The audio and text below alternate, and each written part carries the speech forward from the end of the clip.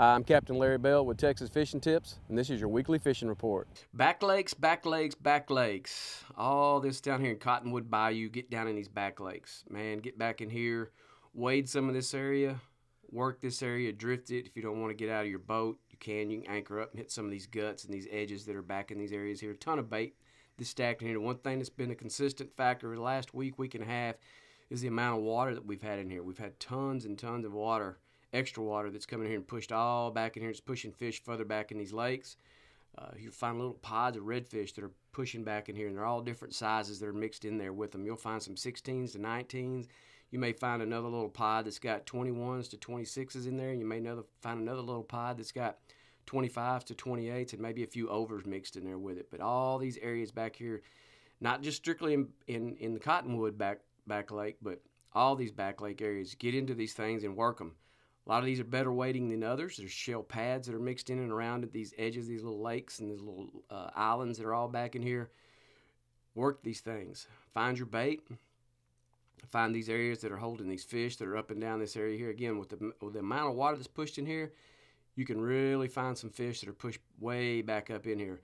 Top water bait has been really good, especially in these back lake areas. Man, you can work that top water all over that thing. You can really use it as an indicator bait for you uh, to search these fish to get blow ups. If you're not finding the pods or seeing the pods for whatever reason, then throw that top water bait because that thing will indicate to you because those fish will they'll slap at it. They may not take it, but they'll they'll slap at it. And again, if you've got somebody with you, have them throw a plastic back right behind that where that's at, and you'll have an opportunity to get them hooked up on that.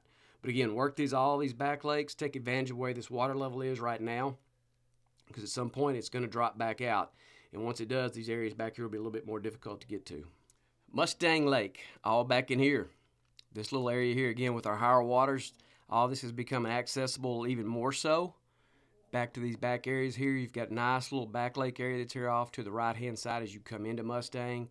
Back down here through the ICW. Work your way down here. Work around Mustang Edge. That's all nice and wadeable. Another thing that you need to be aware of in there, there are alligators around that area. So if you're going to get out of the boat, make sure you're aware that they, they are around there. So you may want to stay in the boat and use your trolling motor if you want to. This little area that comes back up in here to this back lake, right back up in here, on down the ICW here, and there's another little back lake entrance that pushes you back up into this area, this little back lake. With the water levels the way that they are, you can get on your trolling motor, providing that you have one and you got a skinny enough running boat that doesn't doesn't sink down or draft too much water you can get back up into these areas right now. There, there's some shell pads that are in some of these mouths, so you have to be aware of those and where they're at.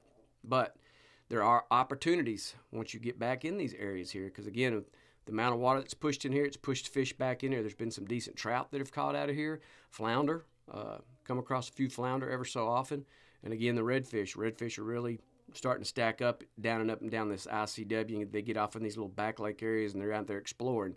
So you can have an opportunity. You'll find a, a pod of these fish that are cruising around back here on these back lakes, these back shorelines.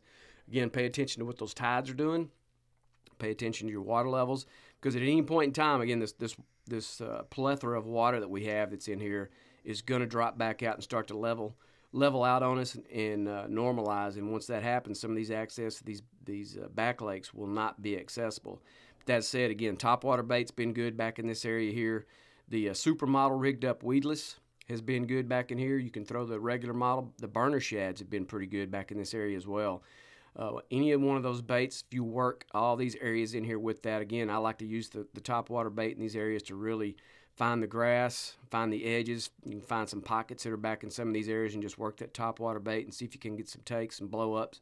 Throw those burners in there right behind it and have a lot of fun with catching these redfish back in these back lakes. Back shoreline down here in Mesquite, just after off of, off of Bray Cove down here by the old Texas Parks and Wildlife place there.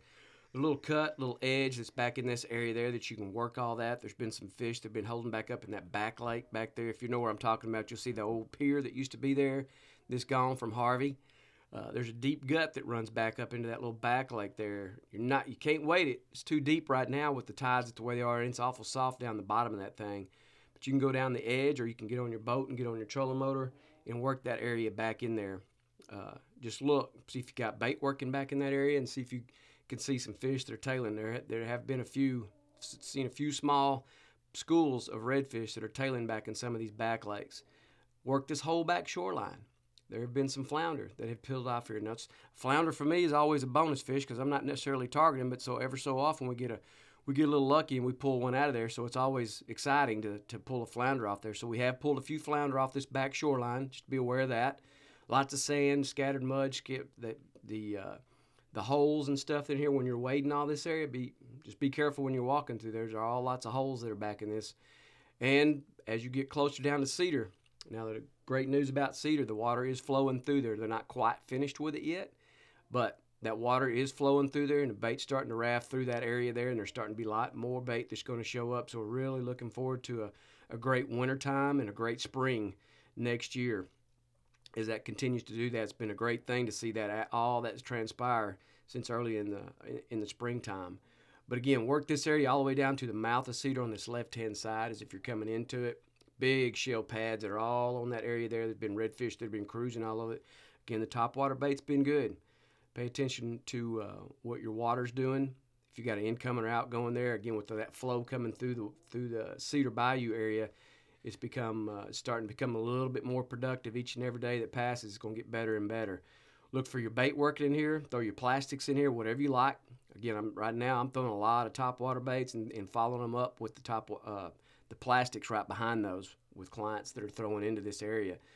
Get it weedless because there is a lot of shell that's in here. If you're not able to control your your uh, distance and how far you work the bait down there, do, do the weedless setup. Put a popping cork. Put the put that uh, plastic underneath that popping cork and work. Another bait that's been really good too is a Marker 54 jerk shrimp. It's been great underneath the popping cork in this area. Work the edges, work that gut, work up in that area where all that shell is at. The, the edge of uh, Cedar Bayou mouth, you know, if you got that uh, cut that runs all the way to the back, that's been another good area that's been holding some fish on either side of that mouth. Those are areas of, of emphasis that you really want to pay attention to as you're working these baits. Thanks for watching. I'm Captain Larry Bell.